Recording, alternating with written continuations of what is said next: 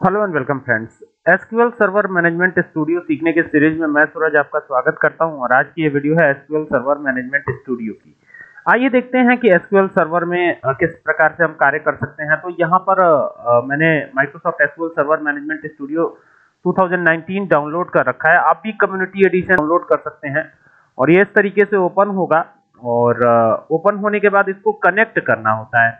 तो ये ध्यान रखिएगा कि जब भी इसको चलाइएगा तो आपको इंटरनेट से कनेक्ट रहना होगा। ये चीज़ आपको बखूबी ध्यान देना है कि आपको हमेशा इंटरनेट से कनेक्ट रहना है और यहाँ पे क्लिक करना है कनेक्ट पर तो ये कनेक्ट हो जाता है। अब हमें डेटाबेस सबसे पहले बनाना होता है, जैसे कि हम माइक्रोसॉफ्ट एक्सेस में भी करते हैं, ठीक है? तो यहाँ पर डेटाबेस दिया गया है। साइड में देखिए, ये डेटाबेस नज़र आएगा आपको। आप चाहे तो क्वेरी के थ्रू डेटाबेस बना सकते हैं या फिर यहाँ से जाके सीधा राइट क्लिक कीजिए और न्यू डेटाबेस पे क्लिक कीजिए। जैसे ही क्लिक करते हैं तो यहाँ पर ये ओपन हो जाता है। अब यहाँ पर डेटाबेस का नाम क्या देना है? जैसे यहाँ पर S C H double O L school D कर देते हैं स्कूल डी यानी स्कूल का डेटाबेस ठीक है? अब यहाँ पर देखिए, ये कह रहा है कि ऑलरेडी जो है, कह रहा है ऑलरेडी एग्जिस्ट तो हम क्या करेंगे? यहाँ से चेंज कर देंगे। इस डेटाबेस को जो है, पहले तो हम चेक करते हैं कि हमारे पास कितना डेटाबेसेस मौजूद हैं। तो यहाँ पे डबल क्लिक करेंगे तो सारे डेटाबेसेस तो होंगे। तो हम इन डेटाबेसेस को डिलीट कर देते हैं। जैसे यहाँ पे स्कूल डी पहले से मौजूद है तो मैं इसको डिलीट करता हूँ। तो यहाँ से जाके आप डिलीट कर सकते हैं। ये आपको स्वतंत्रता यहाँ पे मिल जाती है। कि आप आसानी से डिलीट भी कर सकते हैं। जैसे ये स्कूल डेटाबेस है, इसको भी डिलीट करना है तो यहाँ पे जाके डिलीट कीजिए सीधा सीधा ये डिलीट हो जाता है। ठीक है स्टूडेंट डी है, इसको भी डिलीट करना है तो यहाँ से जाके डिलीट कीजिए, ये सीधा ही डिलीट हो जाएगा। ठीक है? डिलीट हो गया। अब हम क्या करते हैं? अब हम बनाते हैं वापिस से। तो चलते हैं कहाँ? डेटाबेस पर जाएँगे राइट क्लिक करेंगे और न्यू डेटाबेस पे जाएँगे। अब हम यहाँ पे कर देते हैं S C H double O L school D और एंटर कर देते हैं। तो देखिए, अब ये स्कूल डी नाम से डेटाबेस बन गया है। अब हमको इसके अंदर टेबल्स बनानी होंगी। तो यहाँ पे राइट क्लिक करके आप क्वेरी चाहे तो लिख सकते हैं, ठीक है? यहाँ पे देखिए, ये आ रहा है ना क्वेरी लिखने के लिए, और डबल क्लिक करेंगे तो ये इस तरीके से भी ओपन हो जाएगा। तो हम ये आसान वाला मेथड यूज़ करते हैं, और यहाँ पे देखिए, ये प्लस का निशान बना हुआ है तो यहाँ पे क्लिक करेंगे तो आप इसको एक्सपेंड कर सकते हैं, ये इस तरीके से दिखेगा। और राइट क्लिक करेंगे तो यहाँ पे न्यू पे जाके और टेबल बना सकते हैं। तो ये टेबल पे जैसे ही क्लिक करेंगे ना तो सिनेरियो कुछ इस तरीके का हो जाएगा। जैसे कि आपको माइक्रोसॉफ्ट एक्सेस में दिखता है, लगभग वैसा ही यहाँ पर भी दिखना शुरू हो जाएगा। अब सबसे पहले क्या करना है, यहाँ पर जो भी हम डेटाबेस बना रहे हैं, जैसे मान लीजिए स्टूडेंट का रोल नंबर होगा तो यहाँ रोल नंबर कर दिया। और इसका डेटा टाइप यहाँ पे मिल जाता है। और देखिए, ये बहुत सारे डेटा टाइप आपको माइक्रोसॉफ्ट एक्सेस से अलग आपको यहाँ पर नज़र आते हैं। तो यहाँ पर आप देख सकते हैं कि ये बहुत सारे डेटा टाइप हैं। तो कौन सा डेटा टाइप आपको चूज़ करना है, इसमें आपको देखना होगा। जैसे मान लीजिए आप नंबर भी चूज़ कर सकते हैं फ्लोट भी चूज़ कर सकते हैं, लेकिन हमको क्या करना है, यहाँ इंटीजर ही रखना है, क्योंकि रोल नंबर इंटीजर में ही होगा। और यहाँ पे नल वैल्यू को अलाउ नहीं करना है हमें, ठीक है? यहाँ पे अनटिक कर दिया है। अलाउ नल टिक रहेगा तो आप नल छोड़ सकते हैं, यानी खाली छोड़ सकते हैं इस जगह को।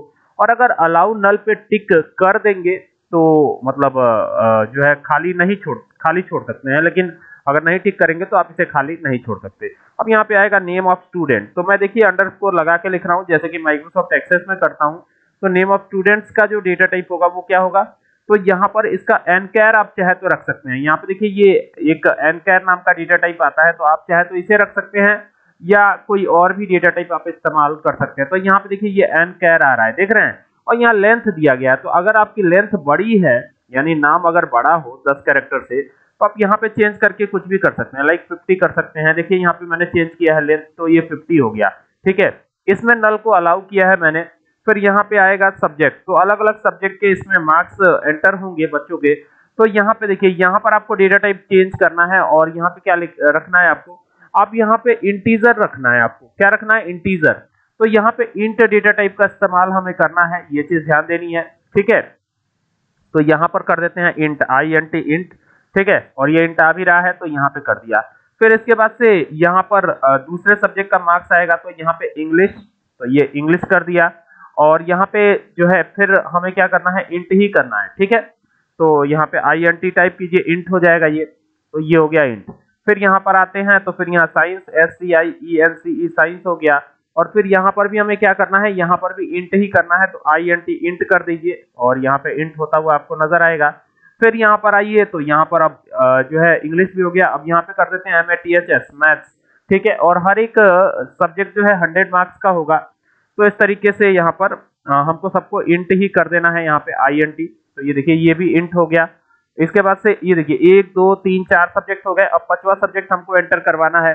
तो चलिए यहाँ पे हिंदी भी एंटर कर देते हैं। हिंदी कर दिया हमने। और यहाँ पे आकर के और इंट कर दीजिएगा इसको।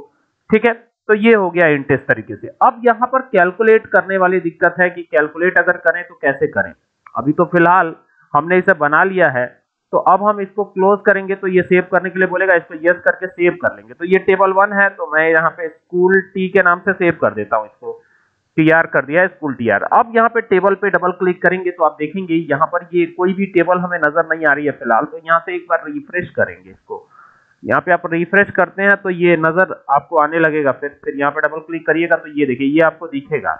तो यहाँ पे जाके राइट क्लिक करके आपको क्या करना है एडिट टॉप 200 रोज पे चले जाना है, ठीक है?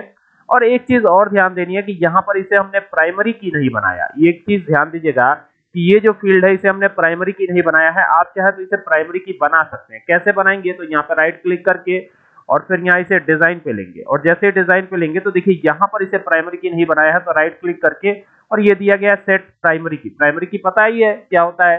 डुप्लीकेट वैल्यू अलाउ नहीं करता है तो इसे हमने प्राइमरी की भी बना दिया है। अब इसको क्लोज करने की बारी है तो पहले तो इसको क्लोज करते हैं इसको भी क्लोज कर देते हैं सेव करके। तो ये सेव हो गया। अब क्या करना है? अब इस पे जाना है राइट क्लिक करना है एडिट टॉप 200 रोज पे जाना है। अब यहाँ पर डुप्लीकेट वैल्यू अलाउ नहीं होगा। सपोज़ कीजिए यहाँ पे रोल नंबर वन दे दिया हमने, और यहाँ देखिए ये स्टूडेंट नेम ऑफ़ स्टूडेंट जो है छिपता हुआ दिख रहा है तो इसको यहाँ से ड्रैग कर लेंगे तो ये पूरा पूरा दिखाई पड़ने लगेगा। अब यहाँ पे स्टूडेंट्स का नाम है रितेश ठीक है? और इनका मार्क्स है out of hundred seventy eight है एक में सिक्सटी सिक्स है एक में और सेवेंटी नाइन है एक में और यहाँ पे मैथ्स में सेवेंटी सेवन है और हिंदी में यहाँ पे सिक्सटी फाइव है। तो यहाँ पे इस तरीके से आप मार्क्स की फीडिंग कर सकते हैं। यहाँ पे टू किया और यहाँ पे राम कर दिया और यहाँ पर मार्क्स जो भी इनके हैं वो फीडिंग करते जाइए। यहाँ पे देख सकते हैं ये फीडिंग हो रहा है मार्क्स और इस तरीके से ये मार्क्स फीडिंग हो जाएगा, ठीक है? और मार्क्स फ़ीड होने के बाद क्या करना है आपको? अब देखिए मार्क्स तो फ़ीड हो गया है, लेकिन अब इसमें जैसे मान लीजिए कि कोई डुप्लीकेट वैल्यू देखते हैं चेक करते हैं कि अलाउ है कि नहीं। तो यहाँ पे अगर मैं वन रख देता हूँ और यहाँ पर कोई भी नाम, जैसे नाम तो डुप्लीकेट हो सकता है, नाम तो फॉरेन की है, लेकिन नाम के अलावा आप रोल नंबर को डुप्लीकेट नहीं रख सकते, ठीक है? नाम और नंबर के अलावा आप रोल नंबर को डुप्लीकेट नहीं रख सकते। यहाँ पे देखिए जैसे ही जाएँगे ना तो यहाँ पे लिखेगा no rows was updated the data in row three was not committed ठीक है? और ये देखिए, यहाँ दे रहा है violation of primary key constant यानी यहाँ पे प्राइमरी की का वायलेशन हो रहा है, ठीक है? तो इस वजह से यहाँ डुप्लीकेट वैल्यू आप नहीं लिख सकते। तो प्राइमरी की का यही मतलब है कि आप इसमें डुप्लीकेट वैल्यू नहीं दे सकते तो मतलब नहीं दे सकते। यहाँ पर इसे क्लोज कर देना है। और क्लोज करके क्या करना है आपको? जैसे ही क्लोज करते हैं तो अब हमें इसका टोटल करना है। तो टोटल यहाँ पर कैसे होगा? सवाल यही है। तो यहाँ पर हम एक क्वेरी बना लेते हैं। ठीक है, इस बार हम क्या करेंगे क्वेरी बनाएँगे। तो न्यू क्वेरी पे क्लिक करेंगे, जैसे क्लिक करेंगे, ये इस तरीके से आ जाएगा। और अब हम क्या करेंगे, यहाँ पर एक एक चीज़ों को लेंगे, ठीक है? जैसे, यहाँ पर ध्यान दीजिएगा, यहाँ पे सेलेक्ट कमांड का यूज़ करेंगे। ये लिखा सेलेक्ट ठीक है?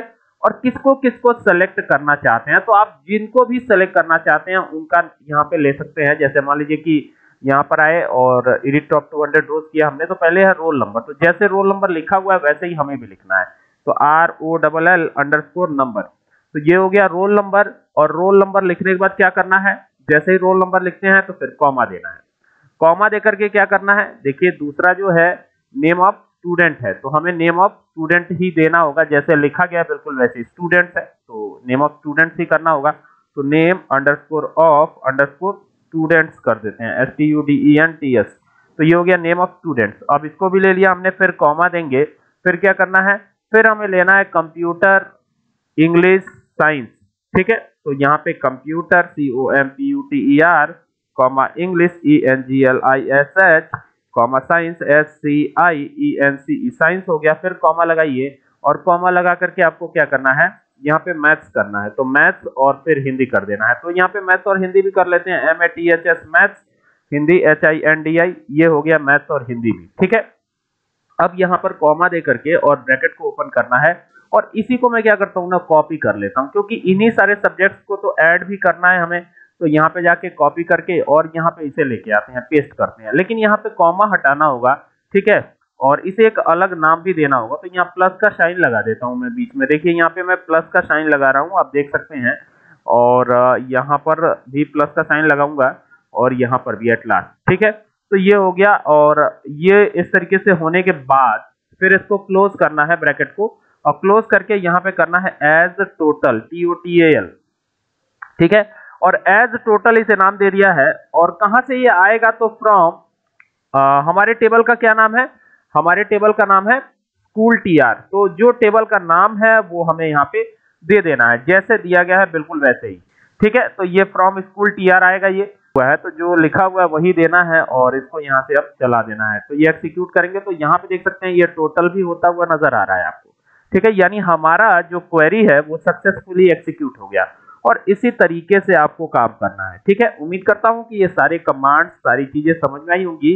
कि इसमें आप एक रिज़ल्ट कैसे क्रिएट कर सकते हैं? इस तरह का अगर आपको कोई काम करना हो तो इसमें कैसे कर सकते हैं?